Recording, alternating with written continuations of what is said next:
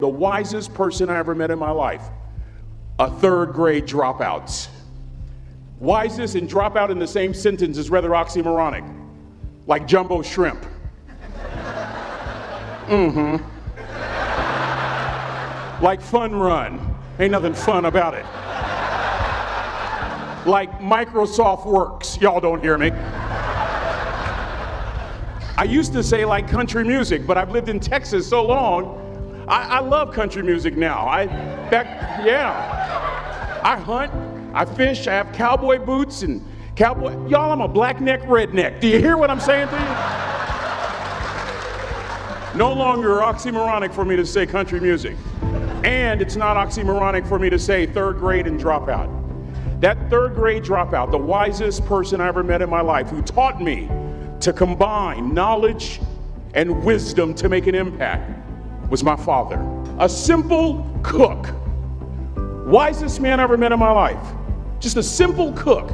Left school in the third grade to help out on the family farm, but just because he left school doesn't mean his education stopped. Mark Twain once said, I've never allowed my schooling to get in the way of my education. My father taught himself how to read, taught himself how to write, decided in the midst of Jim Crowism as America was breathing the last gasp of the Civil War, my father decided he was going to stand and be a man. Not a black man, not a brown man, not a white man, but a man.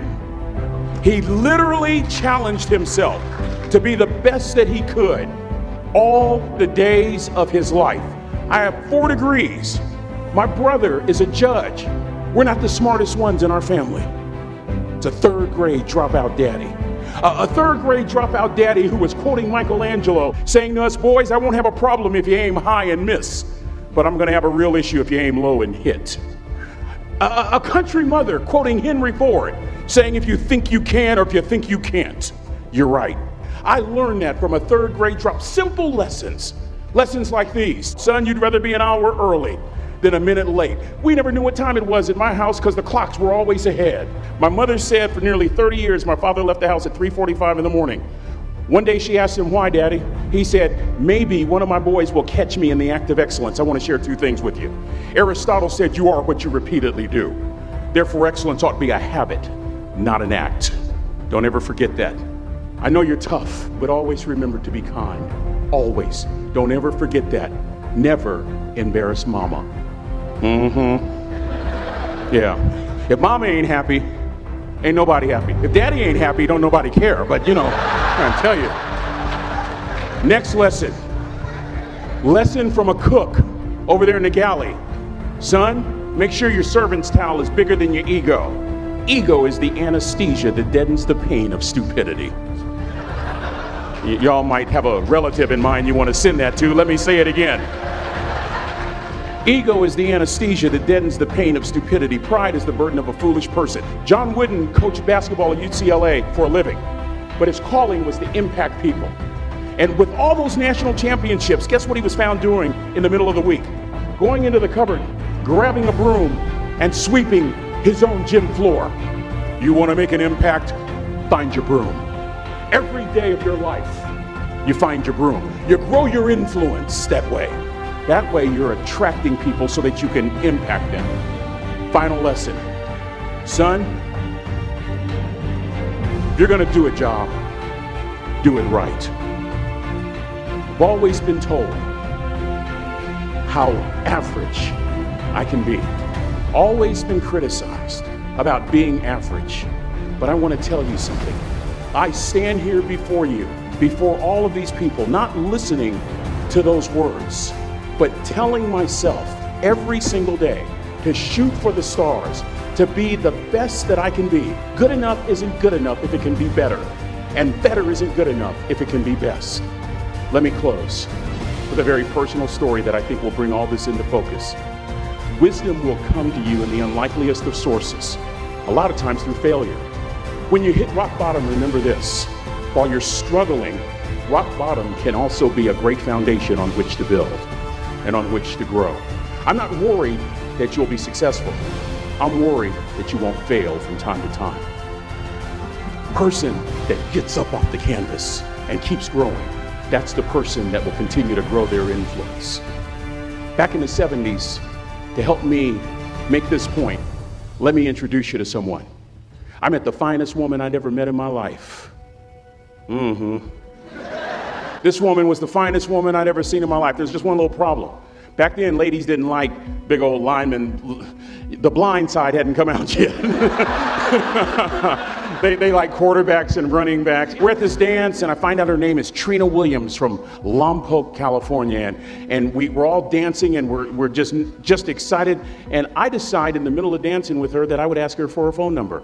She, Trina was the first one, Trina was the only woman in college who gave me her real telephone number. The next day, we walked to Baskin and Robbins ice cream parlor. My friends couldn't believe it. This has been 40 years ago, and my friends still can't believe it. We go on a second date, and a third date, and a fourth date. Mm hmm. we drive from Chico to Vallejo so that she could meet my parents.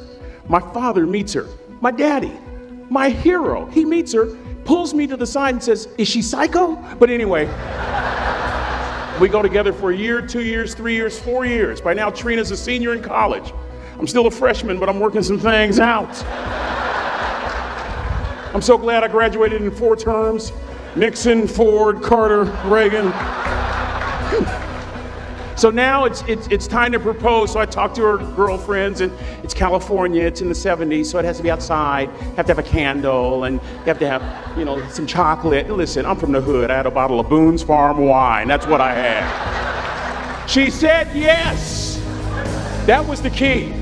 I married the most beautiful woman I'd ever seen in my life. Y'all ever been to a wedding and even before the wedding starts, you hear this? How in the world? And it was coming from my side of the family.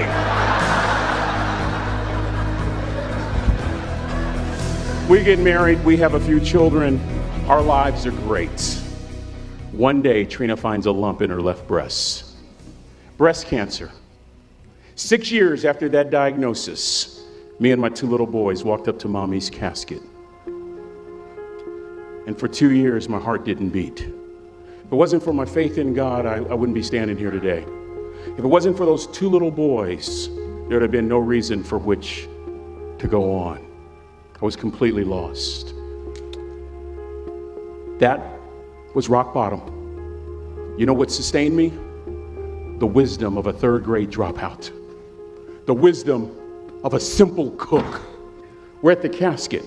I'd never seen my dad cry. But this time I saw my dad cry. That was his daughter. Trina was his daughter, not his daughter in law. And I'm right behind my father, about to see her for the last time on this earth. And my father shared three words with me that changed my life right there at the casket. It would be the last lesson he would ever teach me. He said, Son, just stand. You keep standing. You keep standing, no matter how rough the sea, you keep standing. And I'm not talking about just water.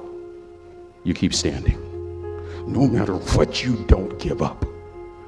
And as clearly as I'm talking to you today, these were some of her last words to me. She looked me in the eye and she said, It doesn't matter to me any longer how long I live. What matters to me most is how I live. I ask y'all one question, a question that I was asked all my life by a third grade dropout. How you living? How you living? Every day, ask yourself that question how you living? Here's, here's what a cook would suggest you to live this way that you would not judge, that you would show up early, that you'd be kind, that you'd make sure that that servant's towel is huge and used, that if you're going to do something, you do it the right way. That, that, that cook would tell you this that it's never wrong to do the right thing, that how you do anything is how you do everything. And in that way, you will grow your influence to make an impact. In that way, you will honor all those who have gone before you, who have invested in you. Look in those unlikeliest places for wisdom. Enhance your life every day by seeking that wisdom and asking yourself every night, How am I living? May God richly bless y'all. Thank you for having me.